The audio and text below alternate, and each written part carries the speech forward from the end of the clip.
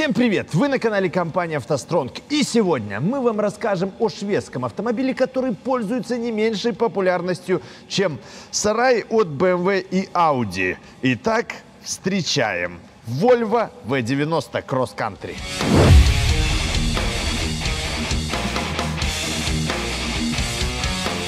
В 2016 году компания Volvo возродила 90-ю серию.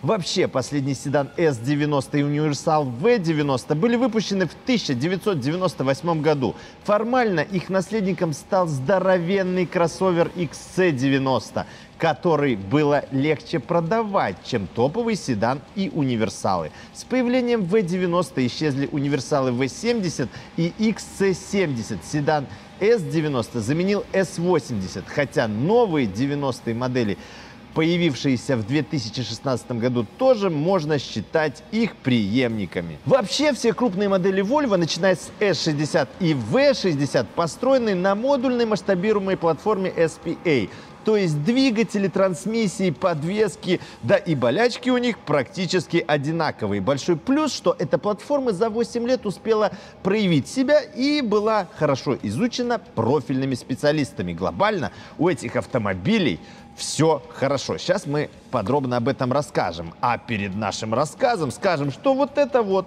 красавица на данный момент продается. Ссылочка по ней будет в описании к этому видео.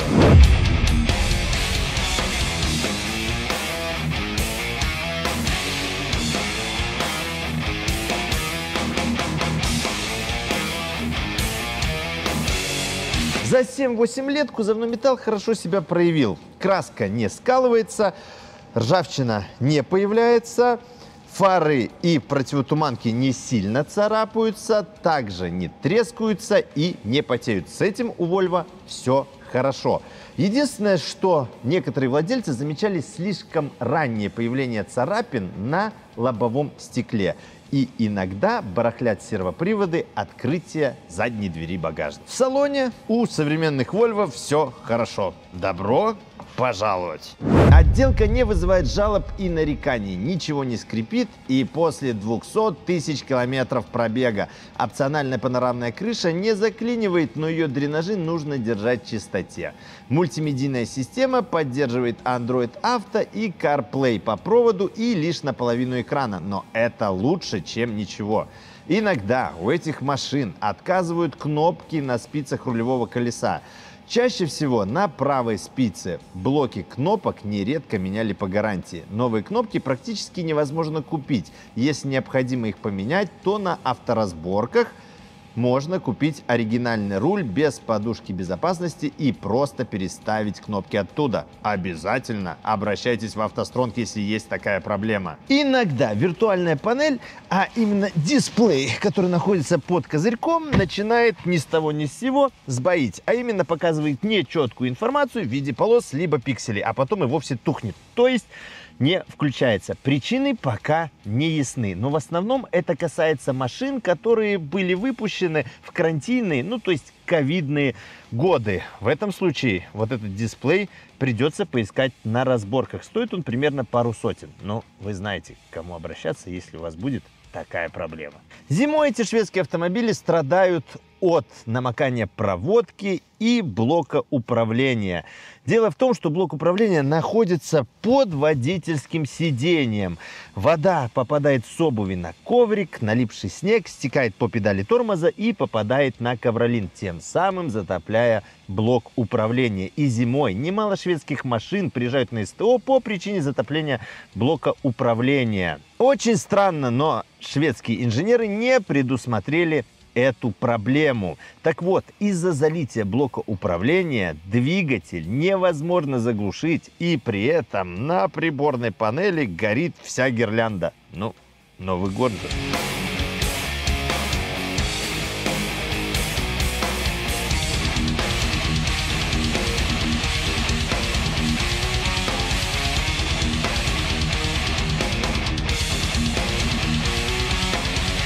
Volvo V90 несколько вариантов мощности, но все они оснащены одним и тем же битурбодизелем. Этот двигатель действительно очень хорош и надежен. И у нас на канале скоро появится полный разбор и обзор этого агрегата в декабре 2023 года. Поэтому те, кто не подписан, обязательно подпишитесь. Этот двигатель, как я сказал, надежен, но к 200 тысячам километров неизбежно начнет течь маслом. С одной стороны, ничего криминального, но с другой стороны, замена прокладки клапанной крышки повлечет с собой замену всего того, что нужно снять для доступа к ней. Те же топливопроводы к форсункам желательно заменить на новые. В общем, Почему не любят этот мотор? Так это потому, что он начинает обливаться маслом в первую очередь из-под клапанной крышки. Также уделяйте внимание области с водительской стороны под вакуумным насосом. Расположенная там трубка ЕГР лопается и пропускает выхлопные газы наружу. Их запах попадает в салон. Выхлопные газы могут появиться под капотом из-за прогорания прокладки выпускного коллектора. Также есть штуцер пара отводящей трубки, которая иногда отламывается и вызывает утечку антифриза. Ниже в этой области на машинах с мотором D5 может обнаружиться оборванный шланг системы Power Pulse. Через него вбрасывается воздух в выпускной коллектор перед турбинами, чтобы раскрутить их. Патрубки до и после интеркулера традиционно потеют маслом по манжетам и могут начать пропускать воздух. Также при больших пробегах, а эти дизели могут пробежать без особых проблем более 400 тысяч километров, может треснуть шов впускного коллектора. В целом все с этими моторами хорошо. Но если обнаружите при покупке автомобиля течь масла, то есть ручьи масла вплоть до поддона, то это хороший повод для торга и сигнал к тому, что двигатель надо хорошенько обслужить. Ну и последнее. Интервал замены ремня ГРМ надо сократить до 100 тысяч километров, потому что даже оригинальный ремень при положенных для тяжелых условий эксплуатации 120 тысяч километров выглядит жутко. Бензиновый двигатель у Volvo V90 тоже формально один. Это турбо-четверка, которая унифицирована с дизельным собратом. У нее практически такой же легкосплавный блок с чугунными гильзами, открытой рубашкой охлаждения, приводе ГРМ тоже ремень, и этот ремень надо тоже менять до 100 тысяч километров. У бензиновых турбочетверок помпа системы охлаждения электрическая, и оригинальная стоит 900 долларов. Ну, это если вам удастся ее найти. Аналог примерно 300 долларов. А почему мы о ней вспомнили? А потому что ее замены приходились уже на 100 тысяч километров пробега. Также раз 100 тысяч километров придется заменить засвистевший клапан системы вентиляции картера, который находится в маслоуловителе. Маслоуловитель в этом моторе находится на клапанной крышке. Так вот, оригинальный маслоуловитель стоит 280 долларов. Но так как проблема частая, то есть предложение от неоригинальных производителей. То есть маслоуловитель от 80 долларов, даже есть ремкомплект клапана от 15 до примерно 30. А еще, как на дизеле, случаются прогорания. Прокладки выпускного коллектора. Едкий запах газов проникает в салон.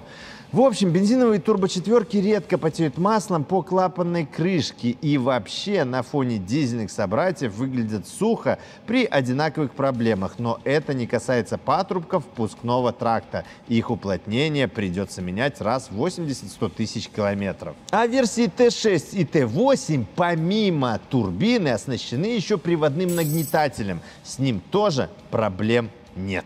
И самое главное, что вот эти все рядные бензиновые турбочетверки к моменту установки на Volvo V90 избавились от масложора, который возникал при пробеге в 90 тысяч километров. И в поршнях не откалывались перегородки под маслосъемными кольцами. Грубо говоря, в 2016 году был произведен технический рестайлинг моторов Drive Е, который избавил их, то есть эти моторы, от самых больших недостатков.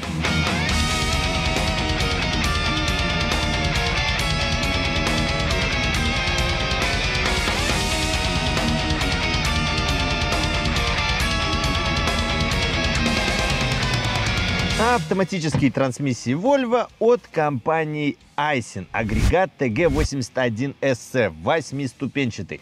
Это очень надежная и выносливая трансмиссия. Если менять в ней частично масло каждые 50 тысяч километров, то она пройдет более 400 тысяч. На частичную замену надо 4 литра масла. Оригинальное масло стоит примерно 30 долларов, но можно использовать любое неоригинальное с допуском Toyota WS.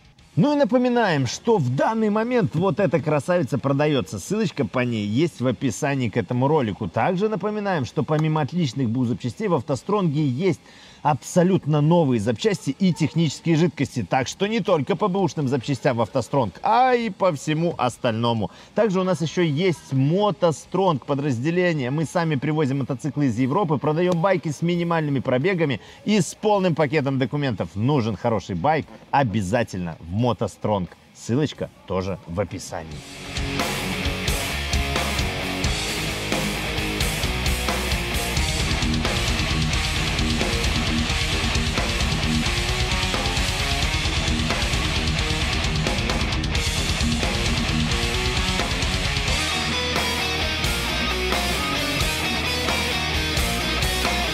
Ну что, мы на 100 и продолжаем. Но для начала снимем вот эту вот накладочку и покажем, что находится под ней. У этих машин еще в гарантийный период наблюдалась проблема утечки фреона из шлангов. После этого компрессор начинал шуметь, а потом заклинивал. Все это меняли по гарантии. Но и в постгарантийных машинах надо за шлангами следить. Внимание нужно уделять в том месте, где к шлангам подсоединены трубки. Вот это место с завальцовкой находится сразу после генератора. Обычно герметичность теряет именно шланг низкого давления, он стоит 100 долларов. В общем, здесь все должно быть сухо. Генератор, само собой, оснащен обгонной муфтой. Так вот, эту муфту тоже меняли в гарантийный период. При пробеге примерно в 60-80 тысяч километров. Так вот, при износе эта муфта немножечко запотевает маслом. Ее лучше поменять превентивно, пока она не заклинила. Новая муфта оригинальная стоит 230 долларов. Единственный аналог 30.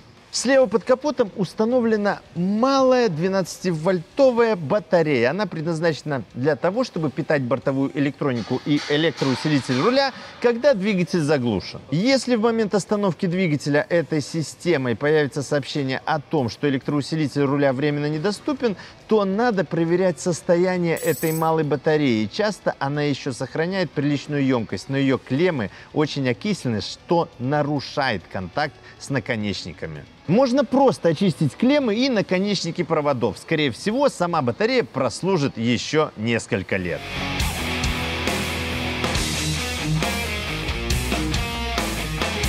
Если Volvo V90 оснащена полным приводом, как в нашем случае, то заднюю ось приводит муфта Haldex пятого поколения. Так вот, эту муфту надо обслуживать, менять в ней масло каждые 40 тысяч километров, а также снимать насос и чистить нос маслозаборника. Если этого не сделать, то электромотор насоса может выйти из строя. Благо, все запчасти для ремонта есть в наличии. При замене масла в муфте стоит оценить люфты углового редуктора. Дело в том, что угловой редуктор, а именно подшипник его вала, инженеры Volvo так и не вылечили. Он изнашивается, и это приводит к гулу и щелчкам. Чтобы подшипник прожил дольше, надо в угловом редукторе менять масло, сливать через боковую пробку, то есть выкачивать и заливать новое. Обзор деталей подвески начнем сзади. Здесь все просто. Оригинальные детали, даже стойки стабилизаторов, выхаживают по 250 тысяч километров. Хотим заметить, что левая и правая стойки, они разные. Оригинал стоит 150 долларов, заменители от 15 до 40. Обратите внимание, что сзади нет никаких витых пружин. Вместо этого инженеры компании Volvo использовали поперечную композитную рессору. С этой деталью вообще нет никаких проблем. Она Такое ощущение, что служит вечно. Обратим внимание, что колодки задних тормозных механизмов на Volvo V90 довольно-таки быстро изнашиваются при активном использовании адаптивного круиз-контроля.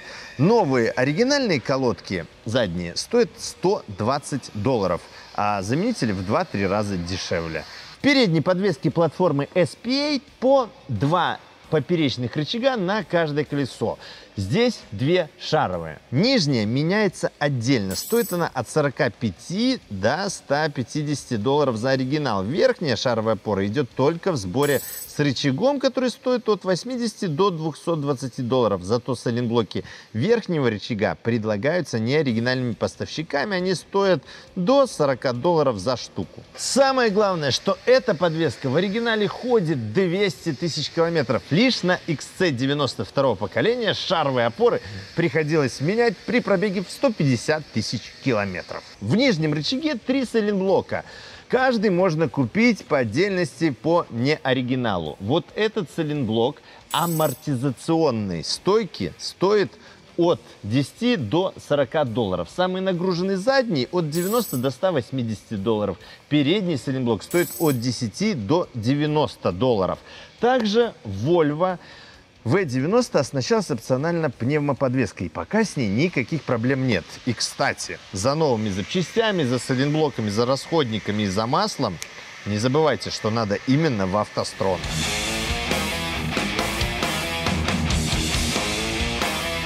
И напоминаем, что вот эта вот красотка на данный момент продается. Ссылочка будет в описании к этому ролику. Ну что, и тоже автомобили Volvo V90 и внедорожная версия Country частенько пригоняются из Европы. Они там, кстати, популярнее, чем XC90.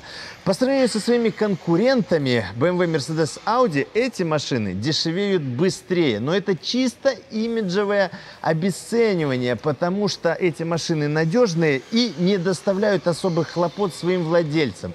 Да, выбор аналогов запчастей меньше. Да, надо обслуживать на хорошем сервисе, и чтобы эту машину обслуживали те люди, которые действительно умеют иметь с ней дело. Ну, а если вы хотите, чтобы мы и дальше делали вот такие вот классные обзоры, то нам обязательно нужна ваша поддержка. Обязательно подпишитесь на наш канал, нажмите колокольчик, поставьте лайк этому видео и напишите комментарий. Также поделитесь этим видео в соцсетях. Помните, что поддержка нашего канала – это плюс 500 тысяч километров к ресурсу вашего автомобиля. С вами всегда была есть и будет компания «АвтоСтронг».